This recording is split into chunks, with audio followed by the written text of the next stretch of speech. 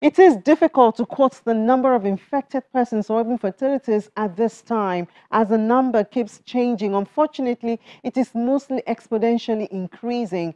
COVID-19 is one proof that the world is one small global village, no matter the geographical distance apart.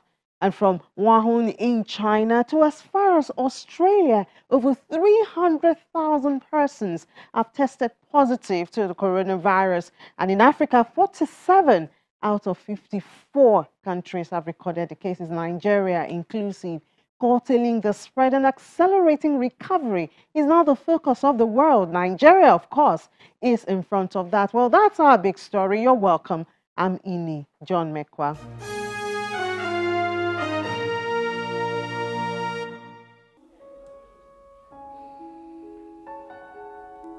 Vacant classroom, empty playground, stationary school buses. It's a contrast to what is the usual in many schools in Nigeria, but this is for the best.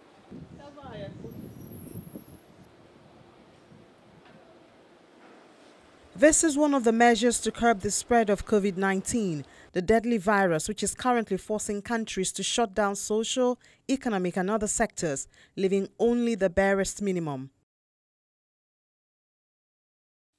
The education sector in Nigeria is one of those that have had to be shut down to protect the little ones. It's for all of us leaders to rise to the challenge.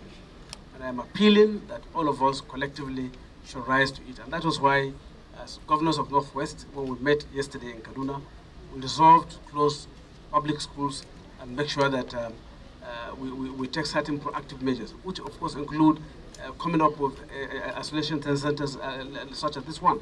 So it's a collective responsibility, but I will appeal as well to the federal government to do more, and especially in terms of making people aware of the dangers that uh, coronavirus really, really, really portend. Although their teachers miss them, they say they prefer it this way but they say the children should remember that this will be over and school would resume. But for now, they need to practice the preventive measures they've been taught. Before we even released the children on our part, we took some pre uh, precautionary measures just to help keep our children safe. You must have seen as you came in, the hand wash is here. We made sure everyone who came into the school compound uh, had a thorough hand wash. We made sanitizers available. We disinfected the environment, the classes, the special rooms more frequently than we did in the past. We created awareness. Uh, we told our children what the disease is all about and we taught them what to do to keep themselves safe, like avoiding hugs at this time of coronavirus, uh, social distancing, as all the children can tell you if you meet them. And uh, of course, um, going about with their personal sanitizers to sanitize themselves uh, as frequently as possible. We also taught them uh, to sneeze into tissue paper whenever they have the need to sneeze or to cough and then dispose properly. And in the absence of a tissue paper we taught them to sneeze into the curve of their, of their elbow just as a way of um, curtailing the spread of the virus. So now that they are home, what message do you have for them? Keep your books beside you because by the grace of God we trust that we will put this behind us and come back to school once again to continue our studies. The unusual calmness can be seen in almost all public offices across the states of the Federation. Government, both at the state and the federal level, have asked civil servants to stay at home to avoid clusters, which could easily accelerate the spread. First announced by the Lagos state government, other states have followed the ban of gathering of persons more than 50 at a point in time. Civil servants should stay at home if you look at it, in ministries, you have more than 100 people, 200 people in each ministry. That's a cluster. So what is, is done is to say work from home, except those on essential duties, like um, officers from Ministry of Health, health workers, um, fire service, and um, top management that could at least keep the ministries going so that we don't have a total collapse. That is what he has directed, and that is what we are complying with right now to forestall this um, spread of the deadly COVID 19.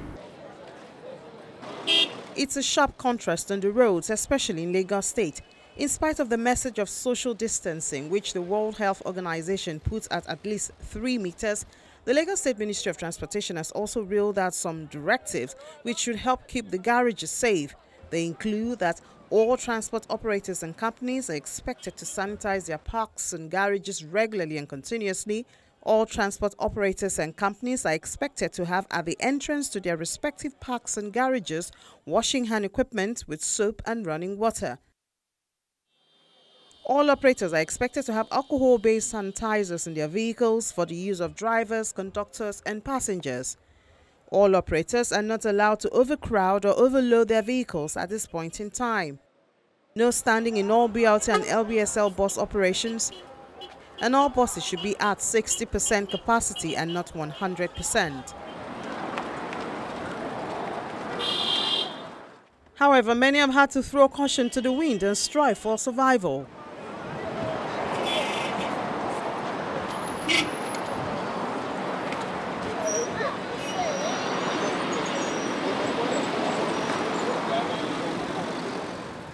For many, the issue is not that they do not believe in the existence and the dangers of discarding these precautions, but they have no choice. I'm just alighting from a bus now. Where I sat, I don't know if somebody that had contracted the virus sat down there. And like I just came down and I started praying. I hope I have not contracted it. I have to go out, but I have families I have to cater for. I'm going to enter BRT, but I've, before I left the house, I've already made a decision. I'm going to have a social distance for, for myself. I'm not going to enter a bus, a BRT that is going to carry standing. I'm going to uh, space myself where I'm going to sit down. I'm also going to preach it. Because I'm an activist, I'm also a social crusader. I'm also going to tell them that I don't do it right. Look at what we're going to do for us to be safe. Talking about social distancing, if I'll be very honest with you, it will be very difficult to achieve in this clime of ours. Reason being, right behind the camera or right behind me, you could see how many of us are walking on this pedestrian bridge. And you can calculate for yourself what are the distances in which we, you know, we have in between ourselves. Even at the stand of the government-controlled buses, BRT, social distancing is yet to be seen. Needs to also reach out to the operators of um, the BRT buses and all these other buses and all the corporate fleets, the Peace Mass Transit and all the rest of them to ensure that these things are in place in their motor parks. And we're also synergizing with NURTW, Lagos State Chapter, vis-a-vis all their branches. Let us also have this thing in all the public parks that we have. For us in FRS is a two-pronged approach. Number one, um, measures to protect our staff first and foremost. Then measures also to protect uh, our clients, which are the motoring public. And for us, um, every command, the command, the RS um, uh, Federal City Headquarters have issued directive um, what every field command must do to protect staff first and foremost, which is um, we must um, have um, uh, provision for staff to wash hands regularly and also for uh, motoring public who may have been ticketed or issued a citation and will come to pay or who come for our driver's license services and all other services that FRSC do render uh, to also wash their hands even before entering the premises to uh, have um, dealings with us. At the newspaper stand, many cannot resist the social banter that they have become used to, but at least the topic is still COVID-19. Well, what we're actually discussing was that um, it is an end time syndrome because uh, the Bible said it that when one of the signs of the end time is that um, strange sickness will be happening. We have heard of um, AIDS, Ebola, and now Corona. Maybe in the future, other ones will still come. But you came here now and we didn't see any social... Uh, yeah, because I don't believe it will catch me like that. So life is about faith, generally. Yes, life is about faith. So me, I believe, in, in, according to my faith, life is according to faith. But not everybody believes in that. But I, that's what I believe. And so I work by it.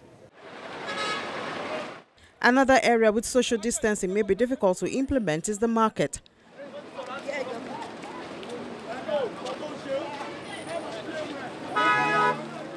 Many here earn daily living and shutting the market may have dire consequences for the economy and sustenance of the people.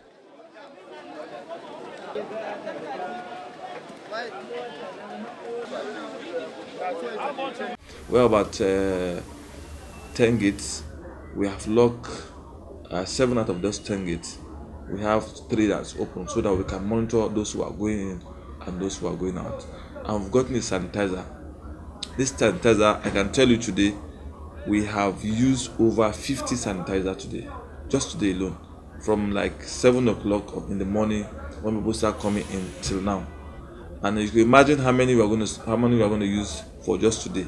We are even advised to lock more gates so that we can monitor more people that are coming to the market because it's a huge market that people come and then people cannot just stay at home without eating food.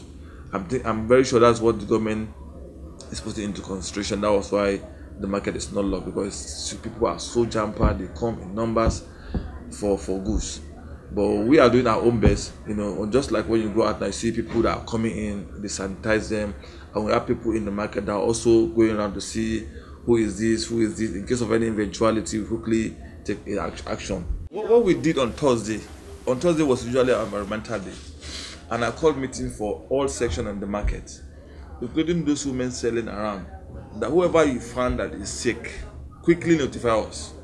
Tell us the person is sick. We have, you know, some security officer here that quickly take him to the, you know, the hospital, nearby hospital here, so that they can text him and know what's wrong with him. And that has been ongoing. We have been doing that.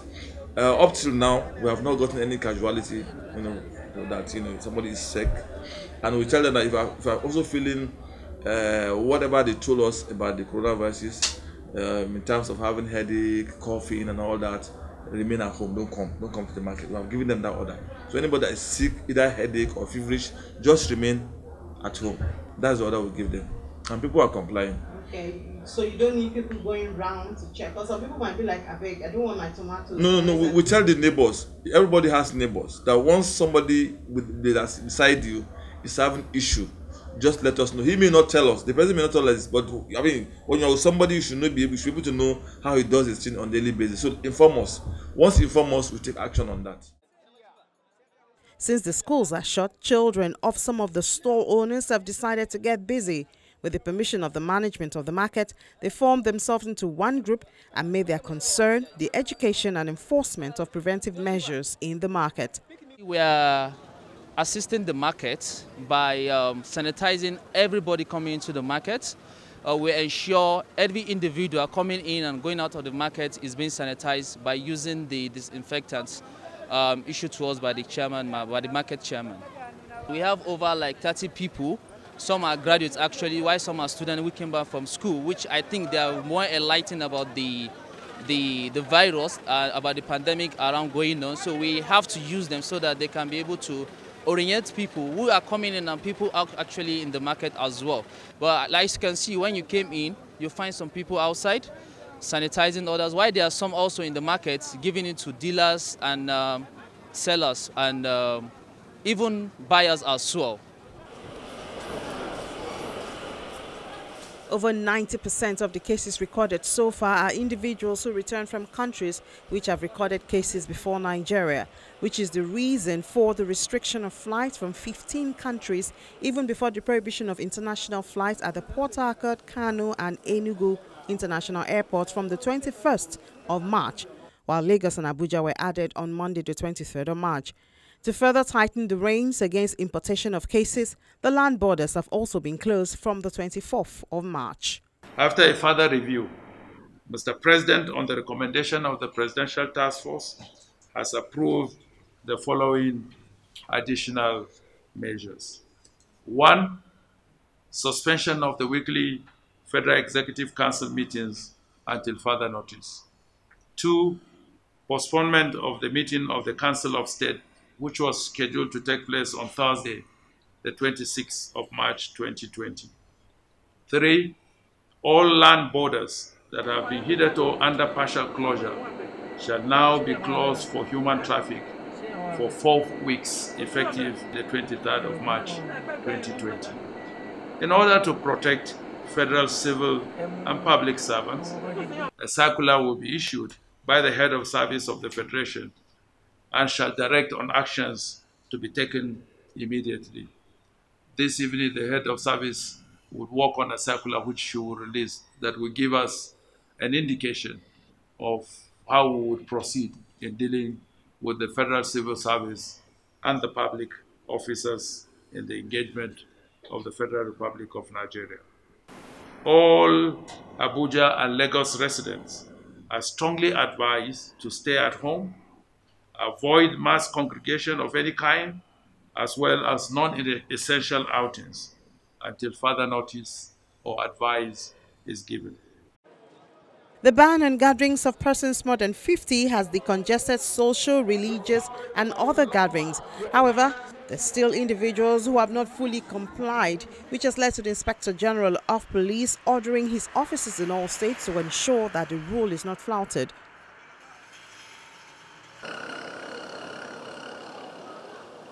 The Minister of Health, Dr. Osagie Ehanire, has been having a very tight schedule. Apart from working behind the scenes, he's had to keep the nation informed. First, it was daily briefing, but recently it's hard to predict how many times in a day he would have to speak to the people through the media. It's catching even more attention as broadcasts have had to indicate not just the date, but also the time. As of the, today, the 23rd of March 2020, 36 cases have been confirmed in Nigeria.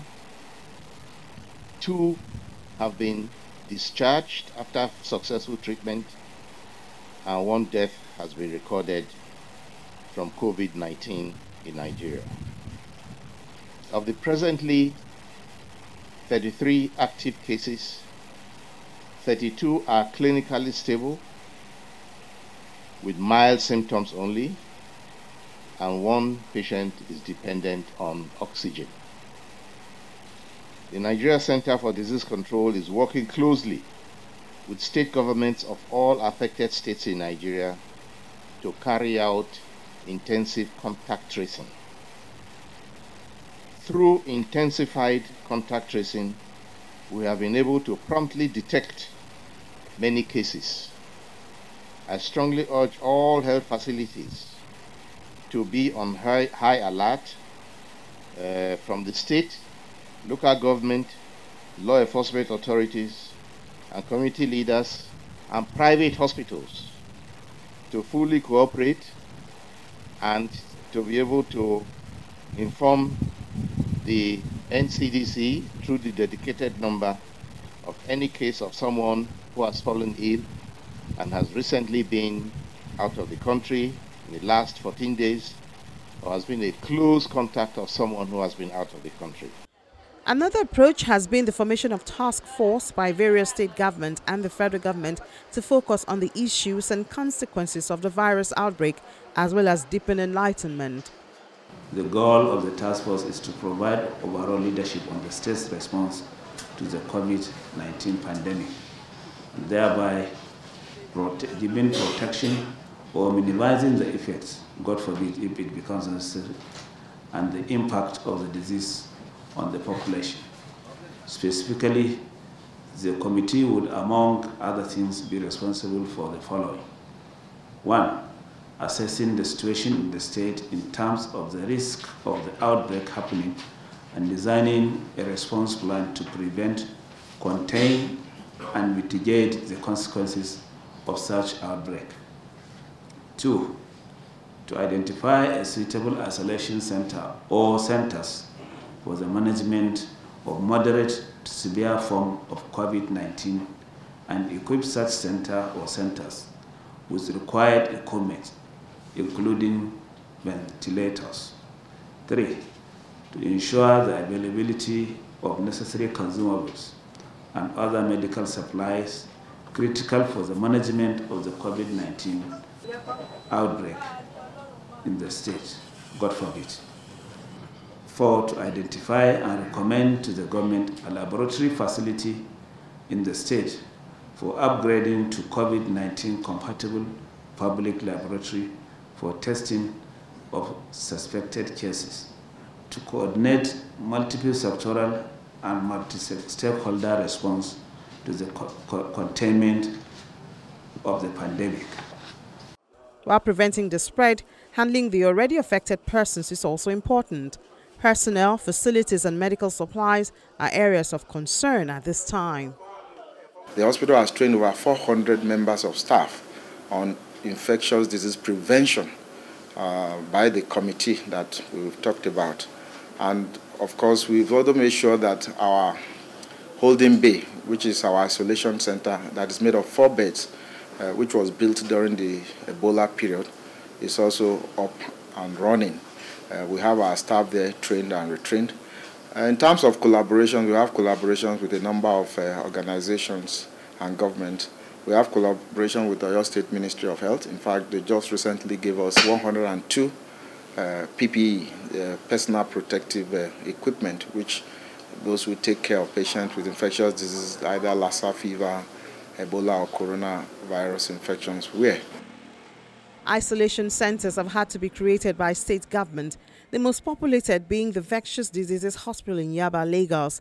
But even before overwhelming cases, some states have created theirs as preparatory steps.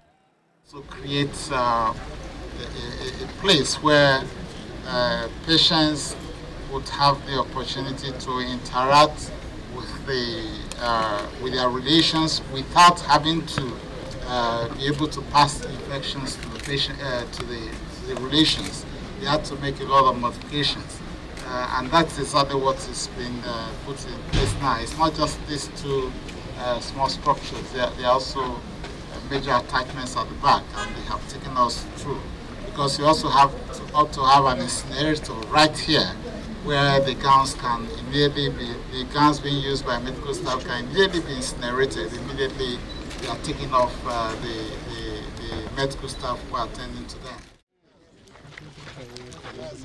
It's now commonplace to see the use of sanitizers even by VIPs. Washing of hands have not been this popular, and the media is awash with information on how to stall the spread of coronavirus. The current outbreak, COVID 19, is a new strain that has not been previously identified in humans. The incubation period for COVID 19 is between 1 to 14 days, most commonly around 5 days. Common signs of infection are cough, respiratory symptoms, fever, shortness of breath, and breathing difficulties. In more severe cases, infection can cause pneumonia, severe acute respiratory syndrome, kidney failure, and even death. Here are some basic protective measures against COVID 19. Frequently wash your hands with soap and water for up to 20 seconds. In the absence of soap and water, thoroughly clean your hands with an alcohol based hand sanitizer. Maintain social distancing, at least one meter or three feet distance between yourself and anyone who is coughing or sneezing. Practice respiratory hygiene. Cover your mouth and nose with your bent elbow or tissue when you cough or sneeze. Then dispose of the used tissue immediately. Avoid touching your eyes, nose, and mouth. Greet people with a wave, a nod, or a bow. If you do have a fever, cough, and difficulty breathing, seek medical attention immediately. In case of an emergency, you can call the NCDC toll free number 0800 970 00010, Lagos State Emergency Hotlines 08000 Corona, 080 231 69485, 080 335 65529 and 080 528 17243.